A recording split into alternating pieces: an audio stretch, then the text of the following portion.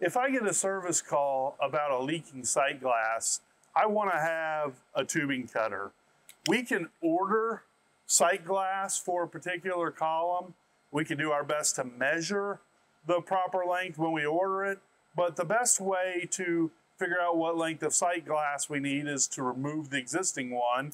And if we've got a generic length of glass, we're gonna have to cut it.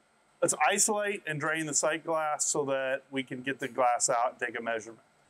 When we're gonna disassemble a sight glass for replacement, it's best to do it with the equipment cold, but there's always a best order of valve operations.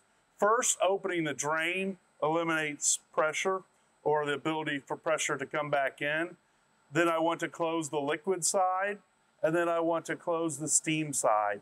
And the benefit of that order is that if I have a leak on the steam side and I close it first, it will actually draw water up and begin to spray out. So this order ensures that we don't have that happen.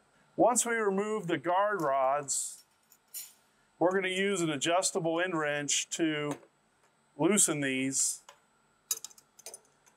Channel locks will work, but you're going to tear up that brass and nobody wants to see that.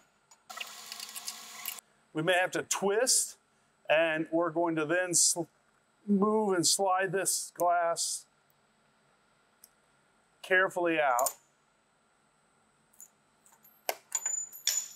Making sure not to drop stuff. We want to make sure to remove the rubber gaskets and rings because we don't want to reuse those. We'll go back in with new ones. We want to make sure to go back with new rubber gaskets and rings. Um, the gaskets do the sealing, the rings relieve friction between the tightening collar and the rubber so that the gaskets don't twist as they go back in.